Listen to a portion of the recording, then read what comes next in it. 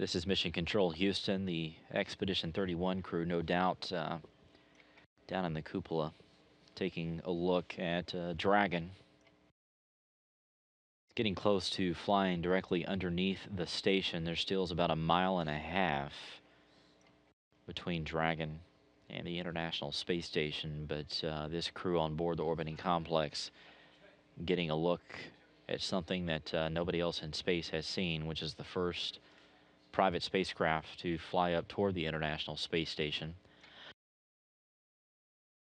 As these two fly in parallel, it's important to note that the last time we saw an American spacecraft from this standpoint was almost a year ago, as Space Shuttle Atlantis bid farewell to the space station during STS 135, the final mission of the Space Shuttle program.